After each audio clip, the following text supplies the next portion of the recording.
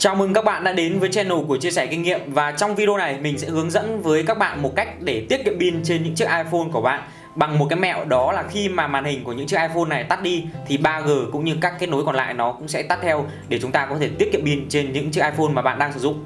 Thì để làm được cái việc này, đầu tiên thì các bạn cần phải jailbreak cái chiếc iPhone đó của bạn. Bạn có thể áp dụng cho cả iPod và iPad nếu mà bạn đang sử dụng.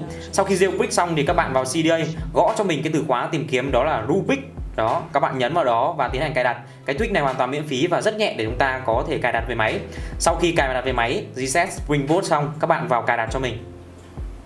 Mặc định thì cái tweak này hình như nó sẽ disable. Do vậy thì các bạn vào cài đặt sau đó nhấn vào zoom pick và các bạn enable cái tính năng này lên. Sau khi enable thì chúng ta sẽ chọn cái loại mạng mà chúng ta đang sử dụng ở đây ví dụ như là 2G và 3G kéo xuống dưới này nó sẽ tự động bật hết những cái um, tính năng cần thiết lên. Ví dụ như nó sẽ chuyển tắt dữ liệu khi mà màn hình của máy tắt hoặc là tắt 3G khi mà chúng ta sử dụng wifi. Rất là tiện lợi bạn chỉ cần enable lên. Những việc còn lại nó đều cho phép chúng ta có thể sử dụng luôn.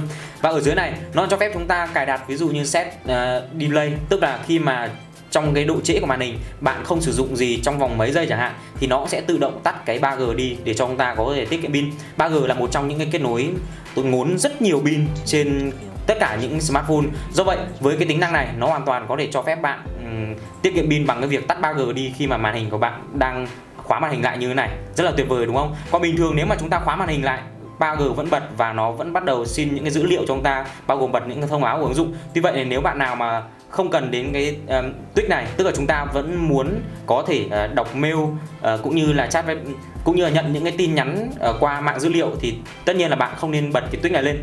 Như vậy là mình đã vừa chia sẻ cho các bạn một cái tweak Zubik giúp chúng ta có thể tắt 3G khi mà màn hình nó cũng tắt luôn để có thể tiết kiệm pin. Xin chào và hẹn gặp lại các bạn trong các video lần sau.